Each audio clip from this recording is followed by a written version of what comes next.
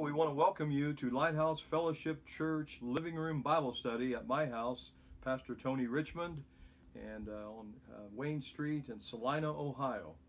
And our church address is 817 North Sugar Street, Celina, Ohio. So we want to invite you to our uh, open church service now. We are back in the building. We're so glad to be back in there. And so we want to encourage you to be there for Father's Day with us if you can.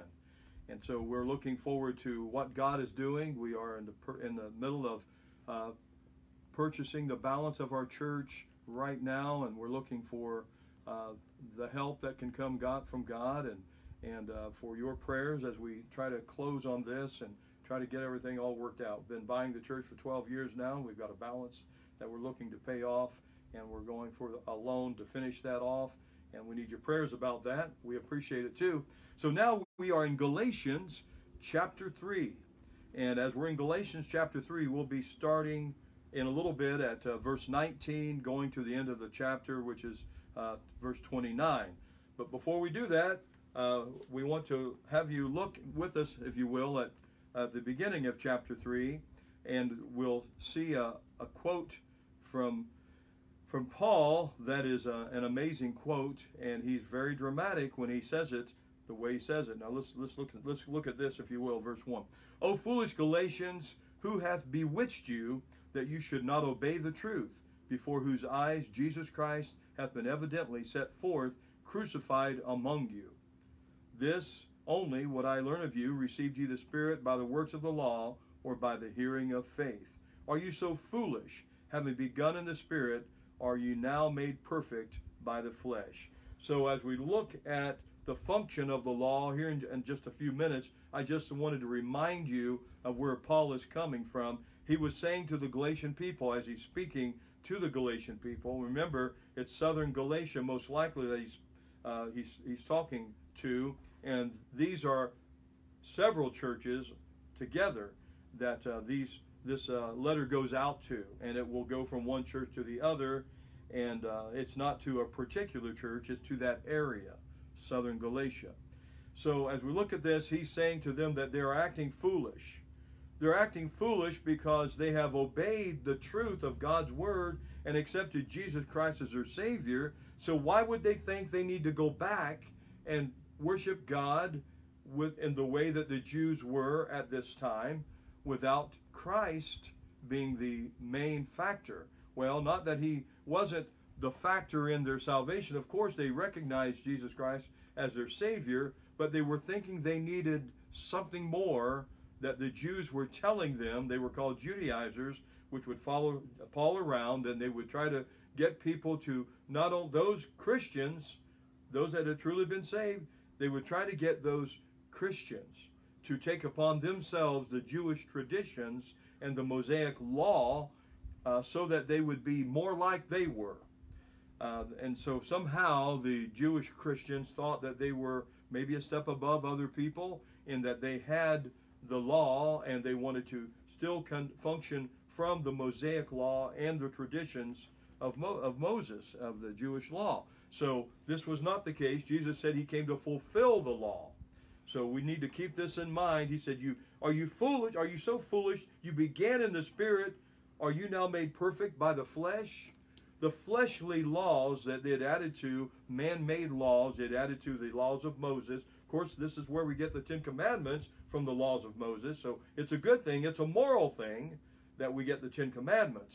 But there was added to it a lot of things that did not apply to us necessarily today and would cause us to be encumbered and in bondage again to man made traditions. And so this was not what needed to happen. Verse 19 says about the function of the law. We're going to look at that now, verse 19. Wherefore then serveth the law? Wherefore then serveth the law? It, it was added because of transgressions till the seed should come to whom the promise was made. And it was ordained by angels in the hand of a mediator. So here God's word was given from a heavenly, in a heavenly way, uh, through angels and through Christ and through God Himself and men that would write uh, the word uh, as such as Moses, who would, God wrote the commandments with his finger. If you remember on the tablets, the two tablets of the law.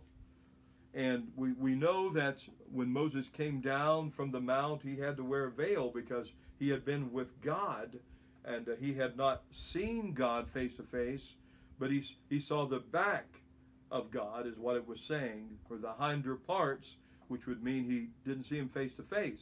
However, he saw enough of God that his face was glowing and he had to wear a veil when he came down from the mountain. Otherwise, and or if he hadn't done that, it would have been blinding to the people, and who knows what it would have done to them if they had seen the blinding light of his face, the glow that was going on. But anyway, uh, as we get through this, uh, we can see that the uh, wherefore then serveth the law. What purpose, uh, Paul is saying, does the law serve?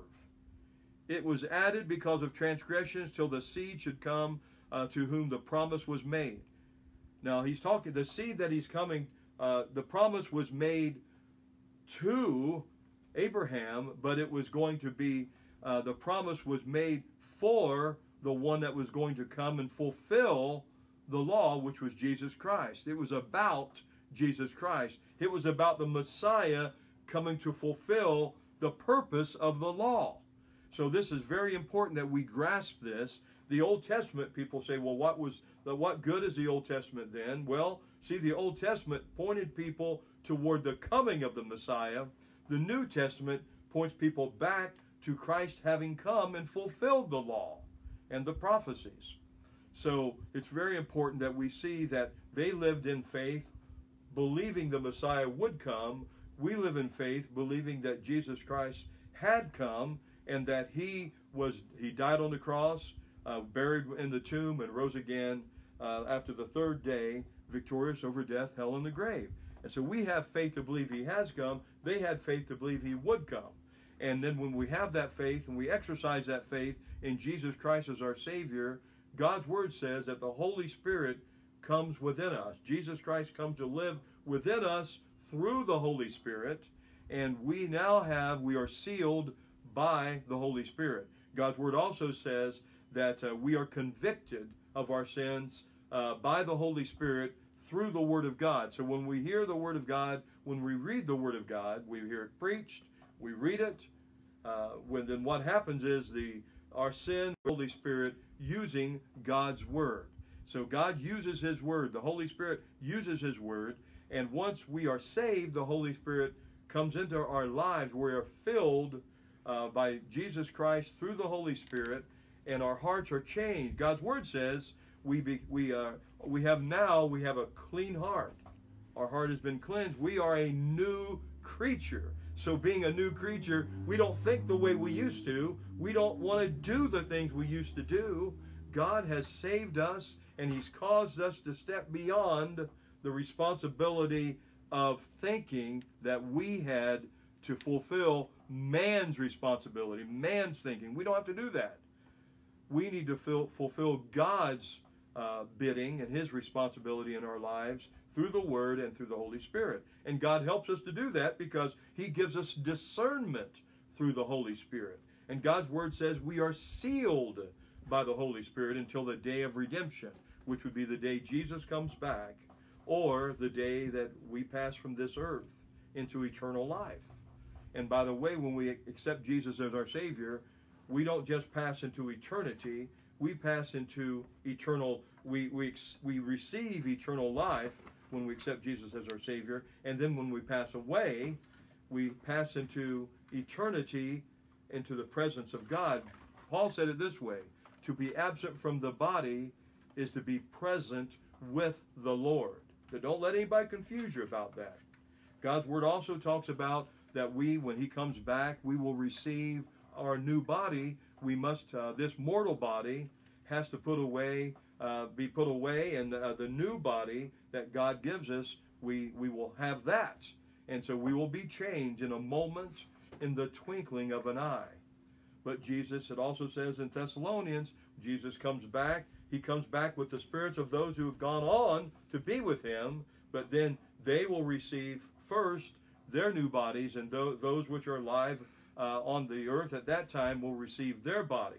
It's only right that God would do that because those that have been without, you know, in heaven with with the Father, as as Paul said, absent from the body, present with the Lord. So they're coming back, and when Jesus is coming back, he'll come back out in the clouds like he left. And remember, the angel said to the disciples, "Why stand you gazing up? This same Jesus, which is was going up, will be coming back in the same manner." So when we realize that, we have to understand that the law is a good thing because it helps us to realize that we're lost. One preacher said it this way, and I think it's a, a good way to say it. In fact, I've heard this from a lot of people that have been, been preaching God's word and teaching God's word. We have to realize we're lost before we can get saved. So when we realize that there's no hope in eternal life without Jesus Christ, and that according to God's word, Romans 3:23 says, "None of us righteous, no, not one," and 6:23 says, "But the wages of for the wages of sin is death, but the gift of God is eternal life through Jesus Christ our Lord." So we need Jesus Christ as our Savior when we come to a realization through the law that we're lost because we are in sin. They had the sacrifices that they had to depend upon and and they had to stand before a priest and, and have these sacrifices offered in their behalf. But the fact is, that was an imperfect system. Now we've got a wonderful system through Jesus Christ, the fulfillment of what the Old Testament pointed toward the coming of Jesus Christ, the fulfilling of the promise that was handed to Abraham, that his seed, which includes you and I, as those that have come to know Jesus Christ as our Savior, that his seed is now us.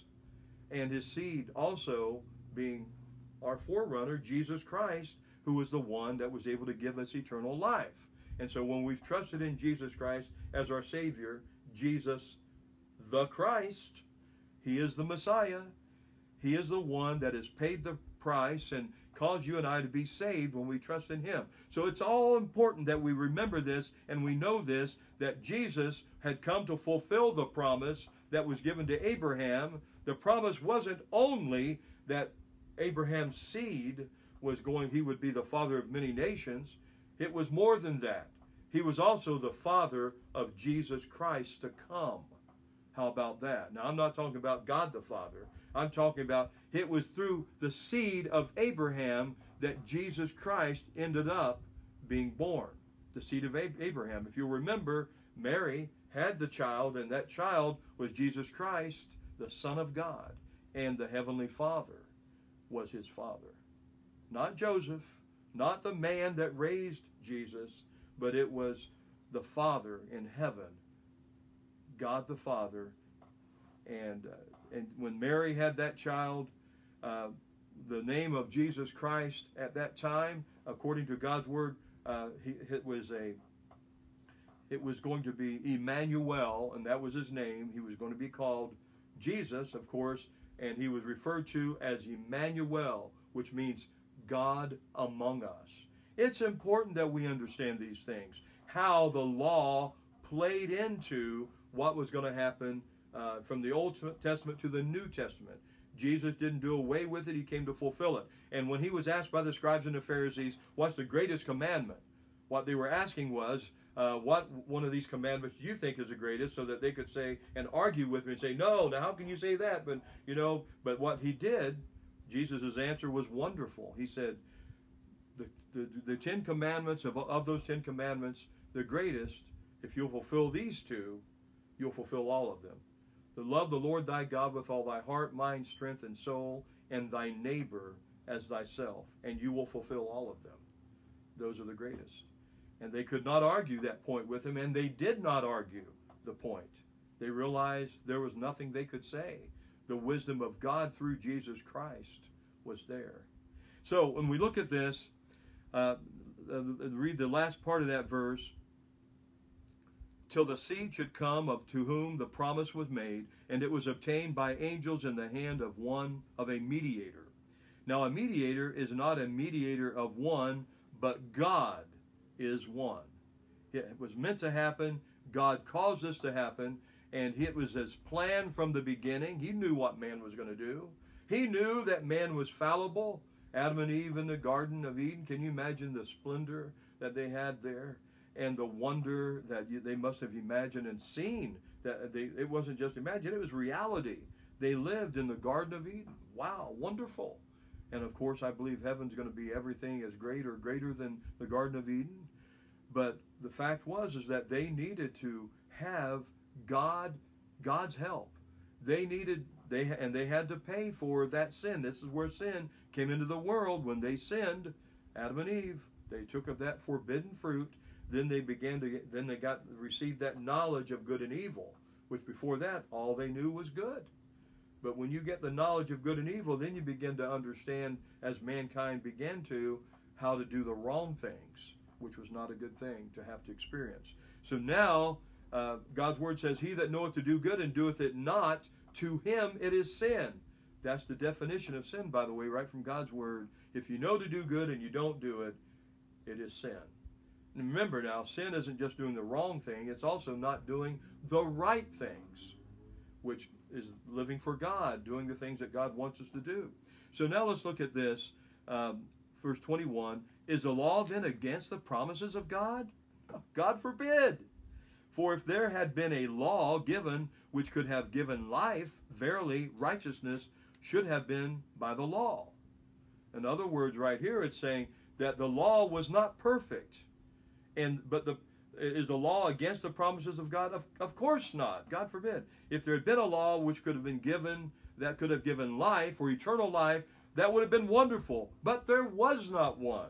They had to re, rely, rely on the sacrifices and following the law the way that God's word said they needed to at the time, and then it would point to Christ. It would also point the fact to the fact that we are sinners and we need God. So is the law then against the promises of God? God forbid. If there had been a law given which could have given life, verily righteousness should uh, should have been by the law. But the Scripture hath concluded all are under sin, that the promise of faith of Jesus Christ might be given to them that believe. The scripture showed us then that we're all under sin, that and that we need to have that faith eh, of Jesus Christ, that it might be given to us to be able to believe, that we would believe and have that eternal life. Look at verse 23 now. But before faith came, we were kept under the law, shut up unto the faith which should afterwards be revealed. So before Jesus came and before we could have faith in Jesus Christ to be our Savior, they were kept under the law. They were shut up. They were in bondage to do the law. What a terrible way to have to live. I mean, it was the best they had at the time. It pointed them toward the Messiah that would come, but they had to be in obedience to do the sacrifices and, and to keep the law. And by the way, they did not have the Holy Spirit living in them, in their hearts, giving them the discernment to know how to live. They had to have it spelled out like the law spelled it out for them. They had to have the guidance that came from the laws of Moses and from the things that they put put in there, but they added a whole lot more than they needed to. The traditions of the Jews, they added all that. It had to be a tedious way to live, but yet they exercised faith to live that way, pointing them to the law uh, that would claim that to, to the Word of God that would point to Jesus Christ to fulfill the law. But before faith came, we were kept under the law, shut up unto the faith which should afterwards be revealed. Now, verse 24. Wherefore the law was our schoolmaster to bring us unto Christ, that we might be justified by faith. But after that faith has come, we are no longer under a schoolmaster. And here's what it's saying the law in the Old Testament was given to us that it might teach us how Jesus Christ would come to fulfill the law, how the Messiah would come and set us free from ourselves and from sin and from the law by fulfilling the law and pointing us to Christ that we might accept Jesus Christ in faith. Notice this wherefore the law was our schoolmaster to bring us unto Christ. So if anybody tells you, asks you, what about that Old Testament? What about that law, the laws of the Old Testament, you know, that was mentioned, the Mosaic laws? What about it? What was that all about? You can say, well, we're not under the law now. We are under the law of Christ, His forgiveness, the Savior, having faith in Jesus Christ. And by that we are set free from the bondage by being kept shut in by the law. We are no longer shut in by the law. We have a freedom that the Holy Spirit gives us to be able to love and to be able to live the way we need to by having the uh, the determination through the Holy Spirit of living the way we need to with the help and discernment from the Holy Spirit. It's wonderful. You and I uh, no longer are susceptible like we were before we were saved to have to do the things that, the, that Satan and his temptations caused us to think that we had to do. Now we have the leadership of Jesus Christ through the Holy Spirit showing us what decisions to make. One of my favorite books is What Would Jesus Do? And by the way, that is uh, written by Charles Sheldon, and uh, it was a it was a good good book. Uh, if you haven't read it yet, please do. There's also a contemporary version talking about what would Jesus do. They took a, a vow together, a certain group of people in the church, and by following the the idea of let's ask the Lord what we should do before we do anything and see how it changes their lives. And it was wonderful. You ought to read it. And you know, that's something that, a concept that I think we should all try to keep. What would Jesus have us do? After all, if He's living in our hearts through the Holy Spirit, and now we have discernment through the Holy Spirit so that we can be have access through Jesus Christ to what God wants us to do in our hearts and minds, then why not ask Jesus Lord, what do you want me to do today? What is it? How do you want me to handle this situation? What about this problem? What would you do? What would you have me do? It's a very good concept, and I think a very worthy concept that you and I could follow because, after all, if Jesus Christ lives within our hearts through the Holy Spirit, why would we not ask Jesus what we should do? So, when we look at this, but after faith has come, we are no longer under a schoolmaster. Thank goodness we are not under the bondage and we are not under that, not shut in like we were before, but now we have the freedom of the Holy Spirit not to sin, but to know the difference between what's right, what's wrong, what the best choices are. I always mention this to people. You know, it's not just about not sinning. It's also about knowing what God's choices are in our life. Because, listen, there may be a lot of good choices in this life that you and I, opportunities that we could take, choices we can make that will make a difference in our lives. But I look at it this way we have choices to make. And those choices can be good, better, or best. I feel like I've chosen the best wife I could possibly have gotten. I tried a few different things, two different, three different girls, and and when I was dating in the dating days, and some didn't want to pray with me, some didn't like the idea about going to church, some didn't think it was a, a, a wonderful thing to talk about God, because I talked about God a lot, and some people didn't like it. So listen, here's the way it goes. Why not marry your best friend? Why not marry the one that loves God just as much as you do? That you can talk about heavenly things about, you know, with, and that you can discuss how God would lead you in your life together. So I'm saying that you can choose the best results for your life or you can choose something lesser. And God wants the very best for you and I. A lot of times it's about the choices we make. In fact, it always is. What choices do we make that would cause our life to be everything God wants it to be? According to God's Word, Romans 8:28. I love this verse. I, I mention it a lot, I know, but I want to share it with you again. Romans 8:28. All things work together for good for them that love God and are the called according to his purpose. When when we love God and are called according to his purpose, that means we've come to accept the Lord Jesus Christ as our Savior. We've accepted the call. And that means he can take all the problems we've had in the past, all of our mistakes, all of our things that we thought were okay that weren't, things that we didn't quite do the right things with. He can take all of that and He can work it out for our good. How that happens, I have no idea. I couldn't figure it all out, but God can. So if you've got problems, you have issues from your past, give them to the Lord and, and He will make the very best out of them. He can straighten out the problems that you've been through. He can take the things, the problems, and, and the circumstances, the sins, He forgives them. He causes us to be a new creature, and He's able to use even the past to make things better for us if we allow Him to. And notice all things work together for good for them that love God and are called according to His purpose. He has a purpose for you and I. I'm not talking about a happenstance existence where oh we might do God's will this time or we might we might know what God wants to do and here another time. No.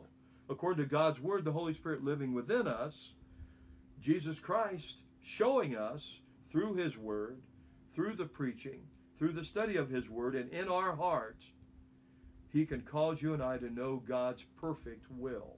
He can cause you and I to know God's best choices so that we can know His purpose and follow it rather than our own plans. So, as we look at this, we uh, no longer need the schoolmaster, which is the law. All we need the law for is to show us that we are sinful people, that none of us are righteous, not one of us. God's law teaches that, that we need salvation and points us toward the coming Messiah, Jesus Christ. But after that faith has come, we are no longer under a schoolmaster. For you are the children of God by faith in Jesus Christ. We are God's children. And God wants the very best for us. You know, don't you want the very best for your children? Of course you do. Do you always do the very best? Well, we try to. We hope to, but sometimes humanly we do fail. But God is not going to fail. Like our own earthly child, children, we want to do the very best for them. But God is much greater than you and I. He's much greater than worldly man, and he's he's much greater than you and I being human, that he can cause you and I to know his perfect will so that you and I can do things his way. We are no longer under a schoolmaster. You are the children of God by faith in Jesus Christ. We've become a new creature. We have a clean heart now. You and I have a mediator, which is Jesus Christ, the righteous, and when we do sin, He's there as our go between between the Father and us, where we do mess up sometimes because we're humans living in this human world. And when we do, we can ask forgiveness. We don't want to do the things we used to do. We don't want to do the wrong things. But if we mess up, then God can forgive us if we'll ask forgiveness. And He will cause you and I to continue to live for Him the way that we need to. Now, that's not a license to sin. That's actually a way that you and I can continue to live in faith with Jesus Christ, in Jesus Christ, and live in faith knowing God's continued purpose instead of stumbling and not being able to find our way again. Because we will stumble sometimes, but when we do, we have Jesus Christ the righteous right there for us to help us find the way back to help us find forgiveness that we need. He is our mediator. You wouldn't need a mediator if everything was all right in your life because sometimes you have problems. Sometimes you need direction and you need the mediator, the advocate, which is Jesus Christ. When it says advocate in God's word, advocate is our attorney, the one that represents us, the one that's there to show the Heavenly Father that we belong to God the Father he has been we have been bought by the blood of Jesus Christ and by his body, by his flesh. He sacrificed himself for us. And he is our mediator now, our go between, our attorney that represents us before God. Yes, Father, but look, they've asked forgiveness, and I've given my blood and my life for them. And God forgives us. Now, it's not a pleasant thing to have to be forgiven, but it is a pleasant thing to be forgiven. And so if you are living with problems in your life, sin that might have crept back in, because Paul said to the Galatian people in that area, he said, Should you sin that grace may abound? God forbid. No. Just because you know that God can forgive you, should you do wrong? No, of course not. We should try to be the person that God wants us to be, to know His way and His will. And by the way, there's no excuse not to know His way and His will. If we've got the Word to read and we've got the Holy Spirit living within our hearts and Jesus Christ, the righteous, as our, God, our advocate and our mediator, you and I have no reason to fail. God's word said, with every temptation, He's prepared for us a way of escape. So when there you are tempted, just begin to ask, Lord, where's my escape? What do you want me to do here? How can I get out of this terrible situation that looks like it's coming my way? God can give you the escape you need to not do the wrong thing. Now, and to help you to do the right thing. Remember, sin is not just doing the wrong thing, it's also failing to do the right thing. So we have to understand that. Now, as we look at this, I love this. It says, For ye are all the children of God by faith in Christ Jesus. That doesn't mean the whole world or the, the whole, whole world is full of the children of God. What that means is He is our Creator. But those of us that have put our faith in Jesus Christ, we are God's children.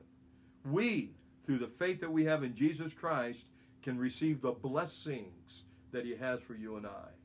Now, God's word says about these other people that, that don't know the Lord, it says, well, the rain falls on the just as well as the unjust. In other words, God blesses those in the world anyway because He's the Creator. But however, the, the blessings of God the Father to His children are different. They're above the blessings that come to just everybody. These blessings that His children receive are wonderful and essential necessary. And so, if you and I, being the children of God, uh, are receiving those blessings, it's only by the grace and mercy of God, His salvation through Jesus Christ, because we are the children of God. Now, let's move a little bit further. For as many as you have been baptized into Christ, have put on Christ. So, when we have been baptized in Christ, now that means we have accepted Jesus Christ as our Savior. But baptized in Jesus Christ means also baptized by the Holy Spirit. That means you and I have received Jesus Christ. He's come into our hearts, and you and I have been changed because of Jesus Christ. And then the Holy Spirit fills our lives. But it also means this we've been baptized into Christ. We put on Christ. That means now He's a part of us, He's in us. Now we can live the way He wants us to. It's also referring to the water baptism, also, because here we now have a need to be baptized, to declare unto everybody that we've been saved. That's what baptism is dying to the old man, raised to walk in the newness of life in Christ Jesus. We have a new life now. We can walk in a newness of life because of Jesus Christ. And now we can have victory over the old man. Now, Paul said it this way I have to die to that old man daily. He had to battle that old man daily, just like you and I do. But he can have victory over the old man, and he can live now in a newness of life. That's what Paul was saying, and that's what he says to us. We have a newness of life in Christ Jesus. Now it goes on to say, We have, as many as you have been baptized into Christ, have put on Christ. So now we have Christ in our lives. We put off the old man, put on the new and that is the new man that's in Jesus Christ because of Jesus Christ. And now, uh, verse 29, or verse 28, uh, there is neither Jew nor Greek, nor neither bond nor free, there is neither male nor female, for you are all one in Christ Jesus. Here, God's word is saying it doesn't matter if you're a Jew or somebody other than uh, a Jew, like a Greek or a Gentile, doesn't matter. It doesn't matter if you are a, a bondman or a slave or if you are free. It doesn't matter if you're a man or a woman. We all are one in Christ Jesus. That means we are all of the body of Christ. We can all come together in one mind and one accord and worship Christ because we all are the children of God that have trusted in Jesus Christ by faith. And it says goes on to say this. Now, by by the way, I want to mention that because we all can be saved, there's no excuse for all of us, any of us, to not be saved. Because John 3:16 says it pretty well that all of us have salvation if we will just trust Jesus Christ as our savior. Jesus died for the whole world that we might be saved. Now when it says that, it means no matter what male, female, Gentile, Jew, Greek, or whomever, whatever nationality, we can all be saved. Look at verse 29. Through faith in Jesus Christ, that is.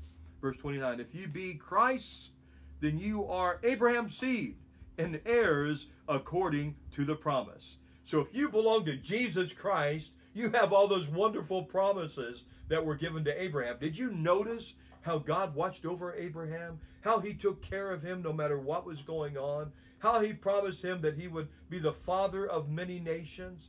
Listen, we are the seed of Abraham. We are one of those people that God's word promised Abraham that we would be his. We would be belong to Christ. We would be of the seed of Abraham. And through him we can have faith in Jesus Christ to be saved. So I want to leave you with this. Don't forget what the function of the law is. When people ask you, is the Old Testament necessary? Of course it was. Without the Old Testament and the Mosaic law, the Ten Commandments, how would we have known how far off we were and that we were lost and needed Jesus Christ? And without that, how would we have been pointed toward Jesus Christ? How would they have been pointed toward the Messiah that was going to come? They had faith that he was coming. We have faith that he's already come, and we've trusted him as our Savior. So, yes, let them know, yes, it was necessary for the Old Testament to be there, for the law to be seen, to be read by us, to be understood. And it's also necessary for you and I to have what the New Testament shares with us about Jesus Christ and his purpose, the, the gospel, which is the, the birth, death, and re- resurrection of Jesus Christ.